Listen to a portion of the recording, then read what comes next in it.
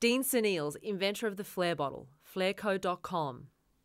If you, if you have anything that you'd like to say to the bartenders, because this goes all over the world, and Right. what we, our company, we try to educate and motivate, and, and it's a great way to spend your time, a great way to make your, make your money. And Right. um, if you have any advice for people, what would you, what would you tell them Whew. for new bartenders?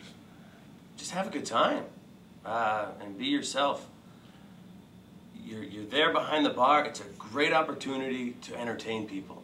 Be it uh, bottle flipping or, or just telling some great jokes or doing some magic or, or doing whatever you can to entertain these people, to make them come back to see you at your bar.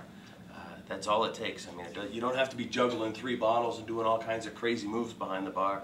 Keep it nice and simple and, uh, and make sure that you've got it under control. If you're dropping stuff all over the place because you're trying big moves, Right.